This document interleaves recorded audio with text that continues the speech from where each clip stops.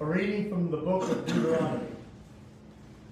Moses spoke to all the people, saying, A prophet like me will the Lord your God raise up from among your own kin.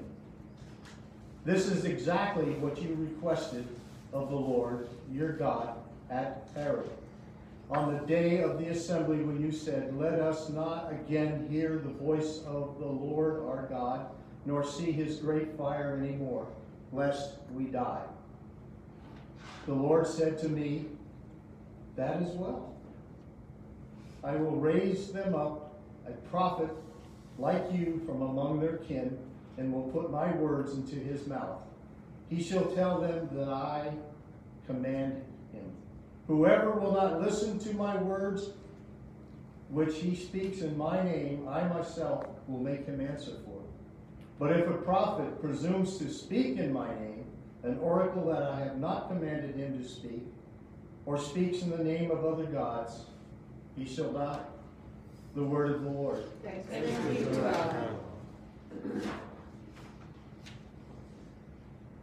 The responsorial psalm is if you hear, if today you hear his voice, harden not your hearts. If Today you hear his voice, harden not your hearts. Come, let us sing joyfully to the Lord. Let us acclaim the rock of our salvation. Let us come into his presence with thanksgiving. Let us joyfully sing psalms to him. If today you hear his voice, Harden not your hearts. Come, let us bow down in worship. Let us kneel before the Lord who made us. For he is our God, and we are the people he shepherds, the flock he guides. If Today you hear his voice, harden not your hearts. Oh, that today you will hear his voice, harden not your hearts, as in Meribah and as the, and in the day of Massah in the desert, where your fathers tempted me. They tested me, though they seek, seek my words. If today you hear his voice, Harden not your hearts. A reading from the letter of St. Paul to the Corinthians. Brothers and sisters, I should like you to be free of anxieties. An unmarried man is anxious about the things of the Lord and how he may please the Lord. But a married man is anxious about things of the world and how he may please his wife, and he is divided. An unmarried woman or virgin is anxious about things of the Lord, so that she may be holy in both body and spirit. A married woman, on the other hand, is anxious about the things of the world, how she may please her husband.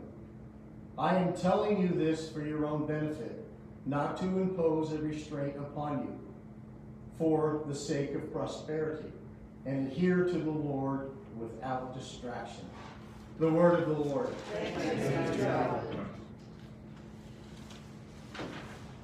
To God. Hallelujah. Hallelujah. The people who sit in darkness have seen great light. On those dwelling in the land overshadowed by death, light has arisen. Hallelujah. Hallelujah. Hallelujah.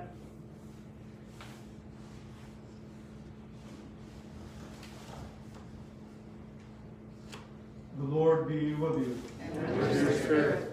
A reading from the Holy Gospel according to Mark.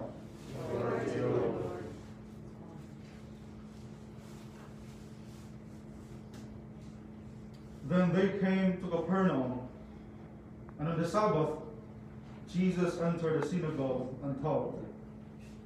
The people were astonished at his teaching, for he taught them as one having authority, and not as the scribes. In the synagogue was a man with an unclean spirit. He cried out, What have you to do with us, Jesus of Nazareth? Have you come to destroy us?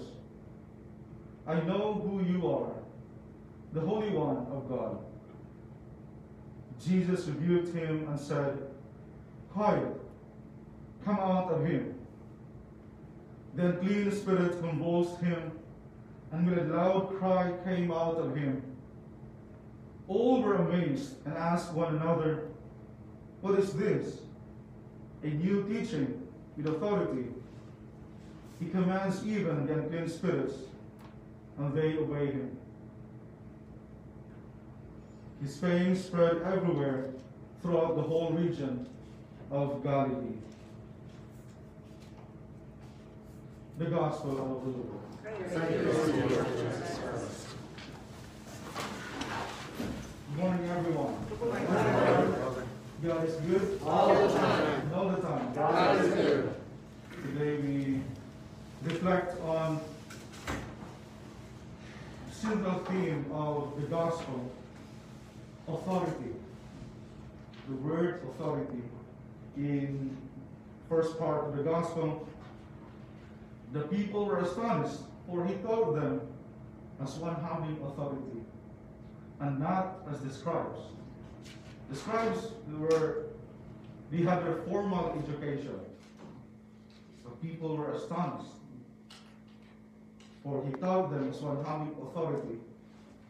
Why would people, what did people see in the Lord that they realized he taught them with authority?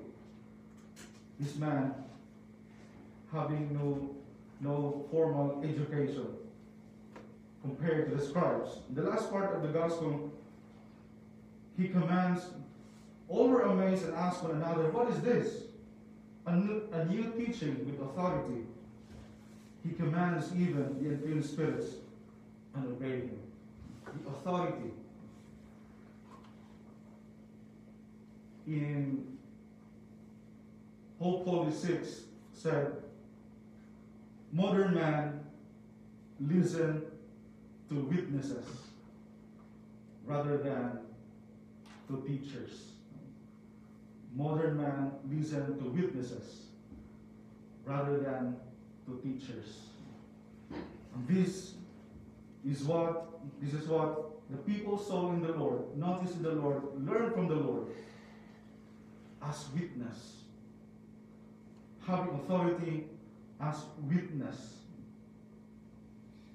Amen. Are you there? Yes.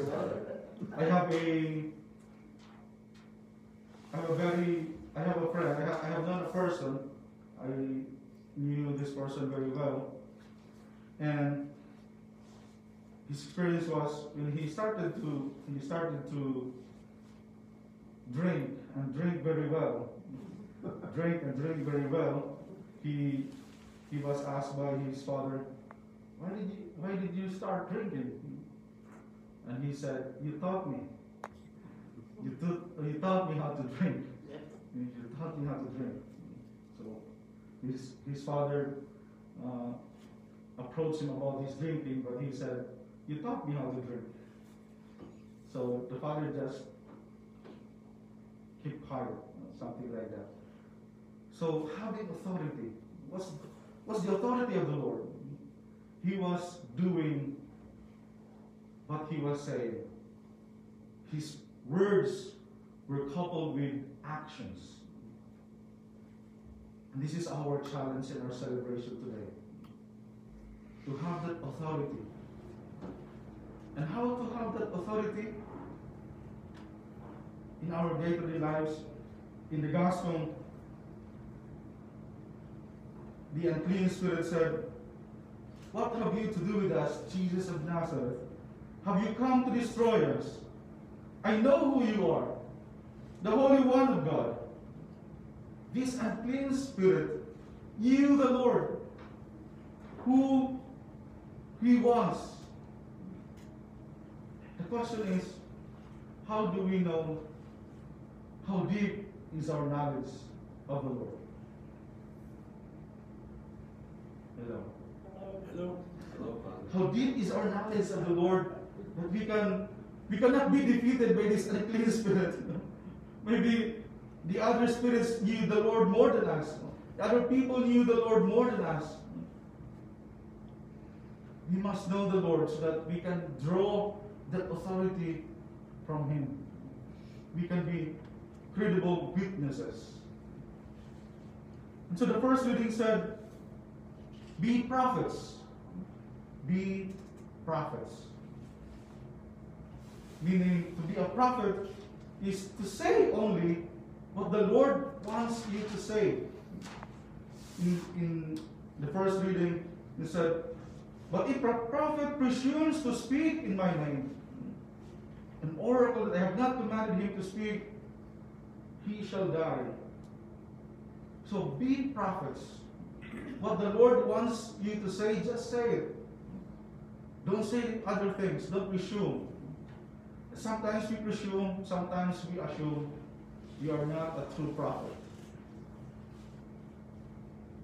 Amen. Amen. In the second reading from letter of St. Paul to the Corinthians, he said, But for I am telling you this for your own benefit, for an adherence to the Lord without distraction. Meaning, be anxious, married man and unmarried man, unmarried man, unmarried woman, and unmarried woman are anxious of the things where they are put to the Lord. So be anxious only to where you are, to where God puts you. That's the only place, place that you are, that you should be anxious about. I'm a husband. I should be anxious to be a husband. My wife. I'm a priest. I should be anxious to be a priest. I'm a wife. I should be anxious to be a wife. I'm a mother the, my children. I should be anxious.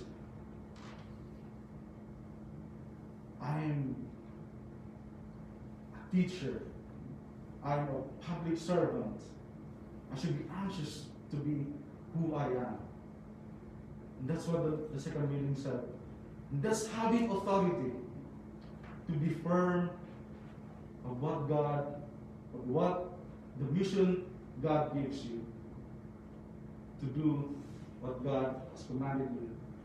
To have that credibility, to have that authority, to be a witness, to learn from Him. And so, how how do we draw? How to listen to Him? How do we draw that knowledge, that credibility from the Lord? By prayer, study, studying scriptures, praying, pray the rosary, attend the mass, read the Bible, know the Lord, knowledge of the Lord. This is what our our celebration today invites us to be always credible witnesses, having authority from the Lord. Amen. Amen.